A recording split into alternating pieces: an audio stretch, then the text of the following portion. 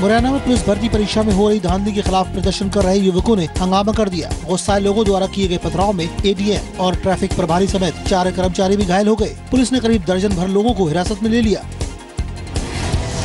सिंहस्थ उज्जैन मेले में एकादशी पर होने वाले स्नान के लिए भारी संख्या में श्रद्धालुओं की भीड़ रामघाट पर जुटी। शिप्रा नदी पर श्रद्धा की डुबकी लगाने पहुँची भीड़ को ड्रोन कैमरे से शूट किया गया। Simhastha Kumbh Limca book of world record में नाम दर्ज करने की ओर बढ़ रहा है। कैबिनेट मंत्री भूपेंद्र सिंह के मुताबिक 21 मई तक 5 करोड़ से ज़्यादा श्रद्धालु स्नान कर चुके होंगे।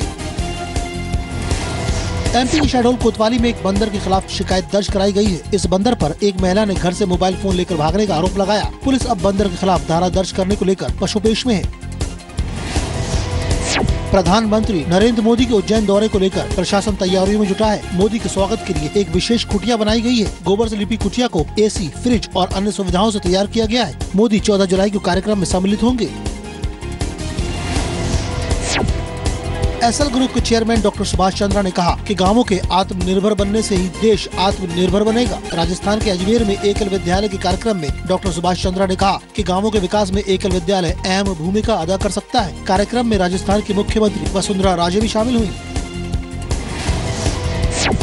बीकानेर से 50 किलोमीटर दूर थार के रेगिस्तान में उल्का पिंड देखे जाने की बात सामने आ रही है। रेगिस्तान में करीब 40 फीट गहरा और 5 फीट चौड़ा गड्ढा हो गया है। प्रशासन ने मामले की गंभीरता को देखते हुए जाँच शुरू कर दी है।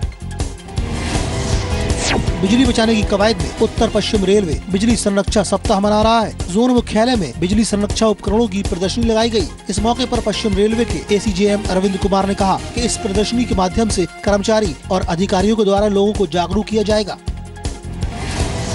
चूरू में प्रेमी जोड़े ने जहर खाकर जान देने की कोशिश की। दोनों कॉलेज में पढ़ते हैं और दो दिन से घर से फरार थे। लोगों ने अचेत हालत में इन्हें अस्पताल पहुँचाया, जहाँ दोनों की स्थिति नाजुक बनी हुई है। कोटा में डॉक्टर भीमराव अंबेडकर छात्रावास की दुर्दशा की तस्वीर सामने आई है। खाने के आटे और दलिये में कीड़े रेंगते नज़र आ रहे हैं, जबकि बच्चों के सोने की जगह पर गंदगी फैली हुई है।